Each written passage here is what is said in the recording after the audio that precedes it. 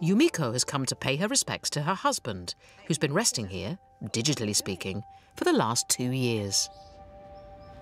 あの夫を祀ってある場所をここで検索して光らせるようにしていますこれから光あそこで光ってるのが見えますあ今ちょ There he is. はいこれがそうですここにおります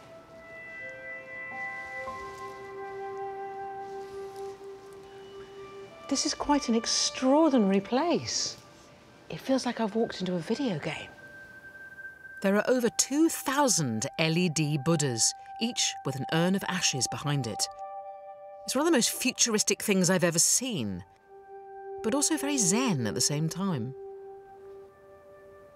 I'm surprised by how contemplative and almost spiritual it feels. It feels like a place of worship, it feels like a place of contemplation. そうですよねなんかとっても神秘的な感じがしますし So, what's the benefit of having your resting place in an LED cemetery rather than a conventional cemetery? あの墓地はお金がかかりますしえあの私どもには子供がおりませんのであとお墓の面倒を見る者がいないんです What do you feel when you come here? Do you feel connected to your husband? あんまりそれはないんですよねそこまではね nice. You've crushed any sense of the spiritual that I was building between us. That's all. It says, I've come here, I've lit up a button, there he is, the Buddha's gone on, you know, and, and that's it, and I'm off again for my tea. when I go into a graveyard in England, sometimes I see very small, unkept graves, and sometimes I see some huge marble posh ones with billions of flowers. But here, it's a sort of democratization of death, and everyone's the same, whether they were rich or poor in this life, whether they had children or no children. And I really love that. Yet another thing that Japan has done magnificently.